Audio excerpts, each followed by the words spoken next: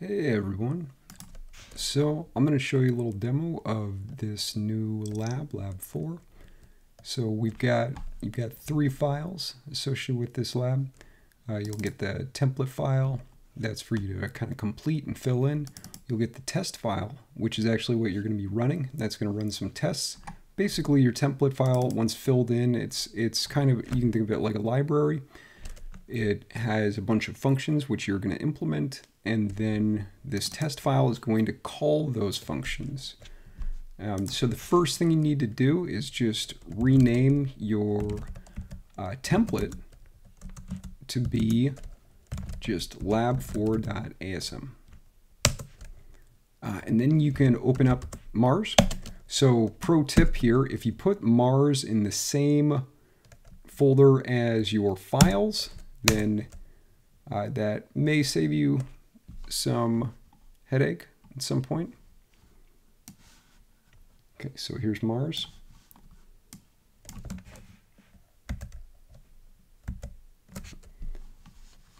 And so I can open and now see, since it's in the same folder, you can see these files right away, right there. Uh, so let me open this test. All right. Okay, so this is the test file that has a bunch of tests uh, which it's going to run. So we just will, and we can see at the bottom that it says include this lab 4.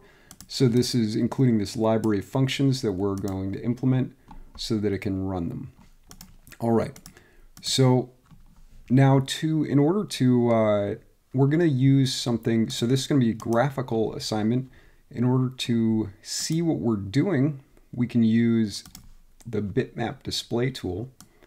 All right, and so what we want to do here is first off, remember to set the base address. Uh, so that's just saying kind of where we're uh, storing our display here or our image or bitmap, if you want to think of it that way.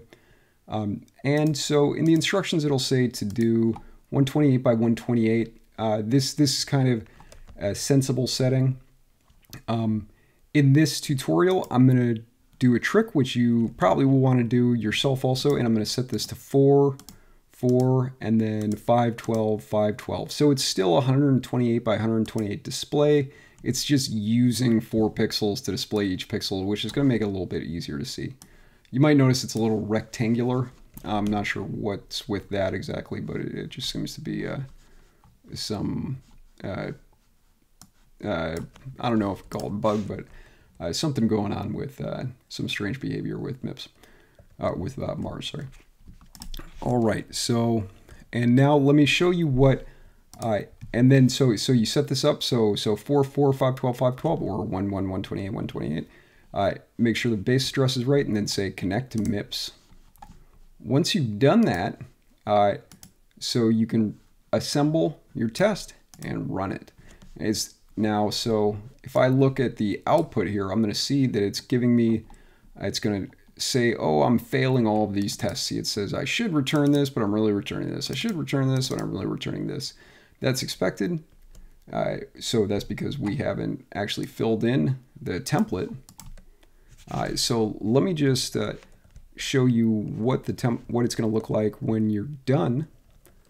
Uh, let's just get rid of this lab 4 and I'll replace that with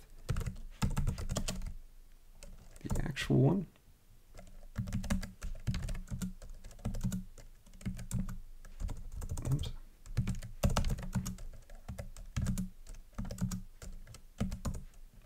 All right, and let me run that.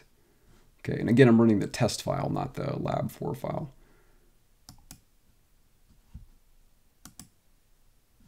Look at that.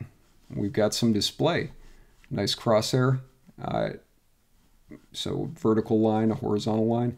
And then this crosshair, which means, you know, vertical and a horizontal line, center around this point where uh, the center is clear, transparent. Okay, so that is the tutorial. Uh, good luck on, on your work, and let me know if you have any questions.